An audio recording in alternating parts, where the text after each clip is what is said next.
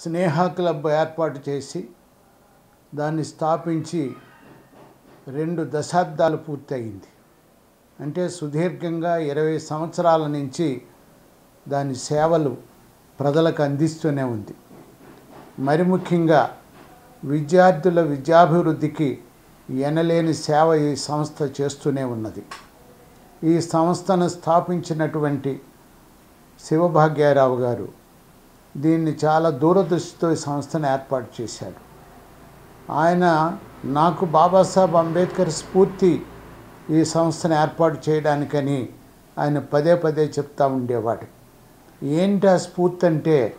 అంబేద్కర్ అనగానే చాలా అద్భుతమైన మహోన్నతమైన వ్యక్తిత్వం అది. అనేక ఆశయాలు మనం నెరవేర్చమని చెప్పాడు సందేశాలు ఇచ్చాడు. ముఖ్యంగా ఏమంటే ఆయన ఇచ్చినటువంటి సందేశాన్ని శివభాగ్యరావు గారు తీసుకున్న సందేశం ఏమంటే pay back to the society సొసైటీకి తిరిగి మనం చెల్లించాలి. రిజర్వేషన్ ద్వారా మనం ఇటువంటి ఉన్నత స్థానాన్ని అధిక మనం ఏర్పాటు చేసుకున్నాం సాధించుకోగలిగాం. దీనికి కారణం బాబాసాహెబ్ అంబేద్కర్ కృషి పోరాటము ఆయన ఇచ్చిన హక్కులని ఆయన ఆయన తిరిగి మనం ఆయన సిద్ధాంతాన్ని అమలు చేయడం ద్వారా ఆ మహనీయుని మనం గుర్తు చేసుకోవాలి. దానిని అమలు చేయడానికి ఆయన సంస్థను స్థాపించి మిగతా ఉద్యోగస్తులలో మరి ముఖ్యంగా ఆఫీసర్స్లో వాళ్ళలో కూడా ఈ స్ఫూర్తిని నింపి కొన్ని వేల మందితోటి ఈ క్లబ్ని ఏర్పాటు చేశారు. ఇది ప్రధానమైన లక్ష్యాలు ఏమంటే ఒకటి మనం విద్యార్థుల దగ్గరికి విజిట్ చేయాలి సందర్శించాలి విద్యార్థులు ఉన్నటువంటి hostels SC ST BC hostels ఎక్కడైతే ఉన్నాయో అక్కడికి వెళ్ళాలి. వాళ్ళకి అవసరమైనటువంటి బుక్స్ కానీ మిగతా కౌన్సిలింగ్ కానీ ఇవన్నీ కూడా వాళ్ళకి ఇవ్వడం ద్వారా వాళ్ళని మనం పైకి తీసుకురాగలం. విద్యా విషయంలో అంబేద్కర్ గారు ఎడ్యుకేట్ అన్నాడు ఆర్గనైజ్ యాజిటేట్ ఎట్లాగా చెప్పాడు. ఎడ్యుకేషన్ మీద ఎక్కువ ప్రాధాన్యత మనం ఇవ్వాలన్న ఉద్దేశంతో ఆయన పుస్తకము లేదని చదువు ఆగడానికి వీల్లేదు.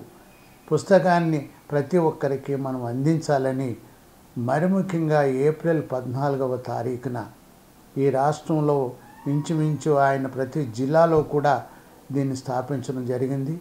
పట్టణాల్లో కూడా ఈ క్లబ్లను ఏర్పాటు చేశాడు ఆయన.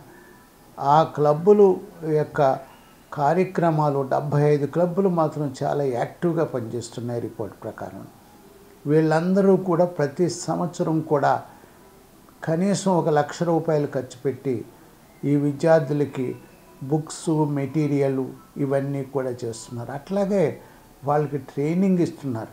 ఎంప్లాయ్మెంట్కి ఉపయోగపడేటువంటి ట్రైనింగ్ కోర్సెస్ కండక్ట్ చేయడం అలాగే coaching centres group one group two bank ఇటువంటి వాళ్ళకి కూడా ఉపయోగపడేటట్టు వాళ్ళకి కోచింగ్ సెంటర్స్ అలాగే ప్రతిభ ఉన్నటువంటి విద్యార్థులు ఎవరైతే ఉన్నారో ఒక యాభై మందిని మరి రెండు రాష్ట్రాల్లోనూ సెలెక్ట్ చేసి ముందైతే కంబైన్డ్గా ఉండి ఒకటే రాష్ట్రం ఇప్పుడు రెండు రాష్ట్రాల్లో కూడా ఉన్నటువంటి ఒక యాభై మందిని ప్రతిభ ఉన్న స్టూడెంట్స్ టెన్త్ క్లాస్ స్టూడెంట్స్ చేసి ఒక్కొక్క స్టూడెంట్కి కూడా పదివేల రూపాయలు ఇవ్వడం కూడా జరుగుతుంది. అంటే విద్యార్థులను ప్రోత్సహించాలి వాళ్ళ తల్లిదండ్రులు కూడా ఇంత ఇంట్రెస్ట్ తీసుకుని వీళ్ళకి ప్రోత్సాహం ఇచ్చారు కాబట్టి వాళ్ళని ఆ సందర్భంగా సన్మానించడం కూడా జరుగుతుంది.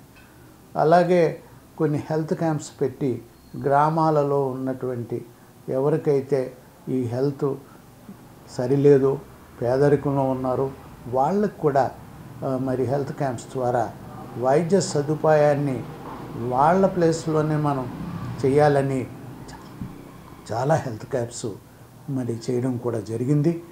ఈ రకమైన సంస్థ ఇరవై సంవత్సరాలు మరి పూర్తి చేసుకున్నదంటే చాలా అది ఒక పెద్ద విజయంగానే మనం భావించాలి.